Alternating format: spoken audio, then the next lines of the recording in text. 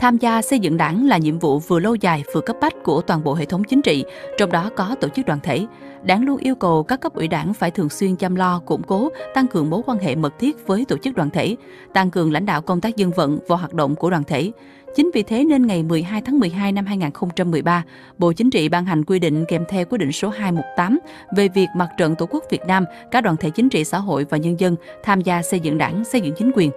Quy định này nhằm phát huy dân chủ xã hội chủ nghĩa, quyền và trách nhiệm của tổ chức đoàn thể chính trị xã hội, tham gia xây dựng chính quyền trong sạch, vững mạnh, góp phần nâng cao năng lực lãnh đạo, sức chiến đấu của đảng, hiệu lực, hiệu quả quản lý của nhà nước. Qua đó tiếp tục thể chế hóa và cụ thể hóa cơ chế đảng lãnh đạo, nhà nước quản lý, nhân dân làm chủ, tăng cường mối quan hệ mật thiết giữa đảng, nhà nước với các tổ chức đoàn thể chính trị xã hội là một tổ chức đoàn thể chính trị xã hội phát huy truyền thống của phụ nữ Việt Nam với 8 chữ vàng. Những năm qua, Hội Liên hiệp Phụ nữ các cấp đã thực hiện tốt chức năng nhiệm vụ của mình, tích cực tham gia và đạt hiệu quả cao trong công tác xây dựng đảng. Thông qua tổ chức hội đã tập hợp đoàn kết, động viên đông đảo hội viên thực hiện đường lối của đảng về phát triển kinh tế xã hội, xây dựng giai cấp công nhân, thực hiện tốt các mặt công tác của đảng trong hội viên. Song song đó, trong hoạt động của mình, các cấp hội phụ nữ luôn coi công tác tham gia xây dựng đảng là có ý nghĩa chiến lược, giới thiệu những cán bộ có uy tín, có năng lực, phẩm chất tốt, phụ trách công tác xây dựng đảng, xây dựng tổ chức hội, coi tổ chức hội là nơi rèn luyện cán bộ của đảng, cung cấp nguồn cán bộ cho đảng. Với phương châm đoàn kết, trách nhiệm, sáng tạo, phát triển, những năm qua, các cấp hội Liên hiệp Phụ nữ Việt Nam tỉnh Bình Dương đã tổ chức thực hiện tốt các chủ trương, đường lối của Đảng, chính sách pháp luật của nhà nước, nỗ lực phấn đấu tích cực hưởng ứng các phong trào thi đua, các cuộc vận động do các cấp, các ngành và hội phát động. Các kết quả đạt được là do có sự lãnh đạo của tỉnh ủy, các cấp ủy và các doanh nghiệp tổ chức à, các cấp các ngành đã đồng hành với hội liên hiệp phụ nữ tỉnh thực hiện cái nhiệm vụ à, đã đạt và hoàn thành xuất sắc các chỉ tiêu và nhiệm vụ đề ra. Các cấp hội đã đẩy mạnh công tác tuyên truyền cũng như là vận động, học tập nghị quyết à, đưa nghị quyết của phụ nữ các cấp đi vào cuộc sống.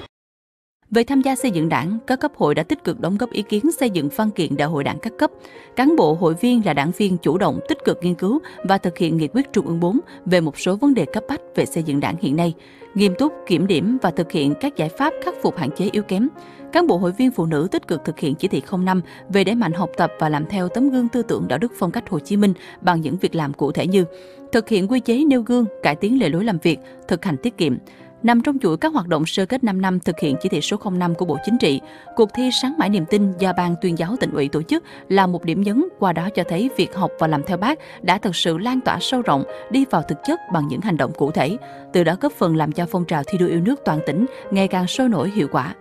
Những hình ảnh sôi động này đã cho thấy không chỉ Hội Liên hiệp Phụ nữ huyện Bắc Tân Uyên mà các cấp hội phụ nữ toàn tỉnh có sự chuẩn bị chu đáo nghiêm túc, tích cực nghiên cứu xây dựng nội dung, lựa chọn thí sinh tham gia với nhiều hình thức đa dạng, phong phú, phù hợp với tình hình thực tiễn của cấp mình. Qua đó góp phần đẩy mạnh hơn nữa việc học tập và làm theo tư tưởng đạo đức phong cách Hồ Chí Minh trong cán bộ, đảng viên và hội viên hội phụ nữ các cấp là đảng viên trẻ được tổ chức đảng cũng như là à, cơ quan đơn vị giáo dục sâu sắc về tư tưởng đạo đức phong cách Hồ Chí Minh trong thời gian qua thì qua học tập à, các cái đạo đức phong cách của người thì bản thân tôi ngày càng trưởng thành hơn bản lĩnh hơn trước mọi tình huống để à, tham gia cùng với tổ chức đơn vị thực hiện tốt các cái nhiệm vụ à, công tác hội cũng như là phong trào phụ nữ của địa phương. Đặc biệt trong đó thì qua học tập của uh, học tập và làm theo gương bác bản thân luôn tự đổi mới tự chỉnh đốn để uh, thực hiện cái nhiệm vụ trên cơ sở là hết lòng, hết sức phục vụ à, tổ quốc, phục vụ nhân dân, là một đảng viên trẻ à, cống hiến để à, tu dưỡng rèn luyện đạo đức cách mạng, hoàn thành xuất sắc mọi nhiệm vụ được tổ chức, phân công và giao phó một trong những điểm nhấn nổi bật là nhiều chị em phụ nữ đã được tín nhiệm tham gia vào các cấp ủy để tiếp tục đóng góp công sức và trí tuệ vào công tác xây dựng và phát triển đảng. Là người đứng đầu, trung tâm đoàn kết phát huy tinh thần dân chủ và sức mạnh đồng thuận của nhân dân. Cô Thân Thị Nguyệt, bí thư chi bộ khu phố 5 phường Phú Mỹ, thành phố Thủ Dầu Một đã cùng với tập thể chi bộ khu phố luôn đoàn kết, năng động sáng tạo với nhiều cách làm hay, mô hình hiệu quả, xây dựng khu phố 5 luôn là đơn vị tiêu biểu trong phong trào xây dựng nếp sống văn hóa, văn minh đô thị. Chắc hẳn rằng sẽ có rất nhiều người ngạc nhiên khi nhìn thấy những hình ảnh này. Một văn phòng khu phố với môi trường cảnh quan vô cùng xanh sạch đẹp. Từ suy nghĩ, văn phòng khu phố là ngôi nhà chung của người dân tại địa phương, nên cô Thân Thiện Nguyệt quyết tâm làm sao xây dựng ngôi nhà ấy phải thực sự là địa chỉ hấp dẫn và thân thuộc để thu hút người dân đến sinh hoạt, vui chơi và họp bàn những công việc của khu phố. Bản thân cô đã lên kế hoạch phân công cụ thể từng thành viên trong ban điều hành, ban ngành đoàn thể, trong đó nhóm đảng viên trẻ là lực lượng nòng cốt trực tiếp tham gia lao động xây dựng và chăm sóc cảnh quan môi trường. Với tinh thần dân biết, dân bàn, dân làm, dân kiểm tra, sự đồng thuận của người dân đã tạo thành sức mạnh tập thể để khu phố 5 nhiều năm liền đạt danh hiệu khu phố văn hóa, đạt giải khuyến khích Ngày hội Đại đoàn kết dân tộc do Ủy ban Mặt trận Tổ quốc thành phố Thủ Dầu Một tổ chức và chi bộ khu phố 5 đạt chi bộ trong sạch vững mạnh. Mười mấy năm nay, người dân phường Tân An, thành phố Thủ Dầu Một đã quá quen thuộc với hình ảnh năng nổ luôn hết mình với công tác xã hội của người cán bộ phụ nữ này. Tham gia vào công tác phụ nữ từ năm 2004, cô Nguyễn Thị Phụng luôn tâm niệm phải làm sao đưa các hoạt động của hội phụ nữ ở địa phương đi vào thực chất có chiều sâu, mang lại những hiệu quả xã hội thiết thực và tích cực. Nhiều mô hình hoạt động của hội đã được triển khai sâu rộng như xây dựng mô hình vườn rau an toàn, kết nối chuỗi tiêu thụ sản phẩm cho hội viên, thành lập câu lạc bộ phụ nữ xung kích phòng chống dịch bệnh, vận động thành lập quỹ hỗ trợ phụ nữ khó khăn, tặng thẻ bảo hiểm y tế cho người nghèo. Sau khi về hưu được tín nhiệm đảm nhận cương vị bí thư chi bộ khu phố 2, cô Nguyễn Thị Phụng đã cùng với ban điều hành khu phố tích cực xây dựng khu phố văn minh, xanh, sạch đẹp. Một trong những công trình tiêu biểu đó là nâng cấp đường dây điện, lắp đặt hệ thống chiếu sáng công cộng cho con hẻm tuyến đường DIS 135. Việc hoàn thành hệ thống chiếu sáng tuyến đường chỉ trong vòng 3 tuần cho thấy nỗ lực rất lớn của tập thể ban điều hành khu phố và cá nhân cô Nguyễn Thị Phụng trong vận động nhân dân để tạo sự đồng thuận cũng như cách thức tổ chức triển khai thực hiện như thế nào cho thật hiệu quả. Đó là một minh chứng khẳng định rằng nếu nói trúng và làm đúng vì dân thì khó khăn trở ngại nào cũng có thể vượt qua.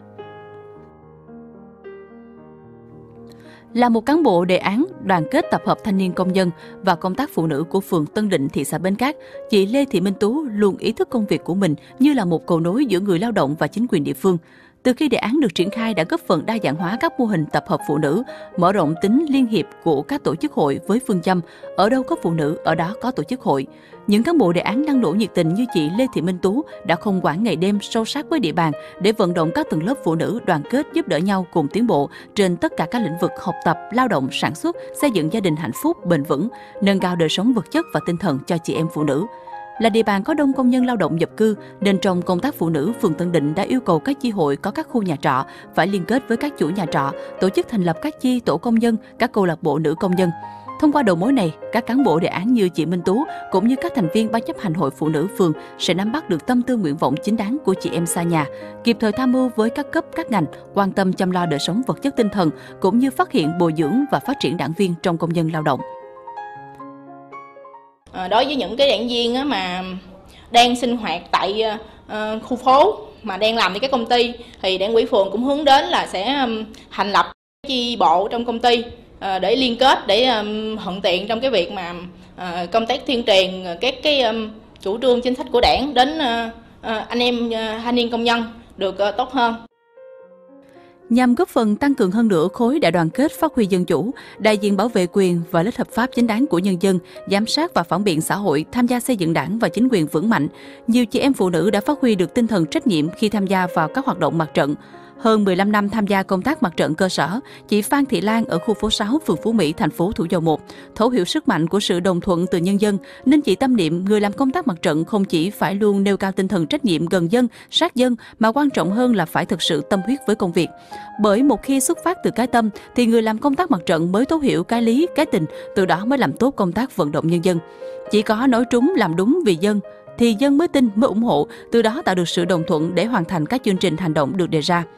Còn đây là chị Lê Thị Hoa, ấp Bà Đã, xã Tân Định, huyện Bắc Tân Uyên. Người làm công tác mặt trận luôn đại diện cho tiếng nói của nhân dân trong cuộc vận động toàn dân đoàn kết xây dựng nông thôn mới đô thị văn minh do huyện Bắc Tân Uyên phát động trong mấy năm qua. Chỉ như một cầu nối giúp đảng ủy chính quyền địa phương hiểu hơn người dân, từ đó có những quyết sách hợp lý và người dân cũng luôn đồng thuận và ủng hộ.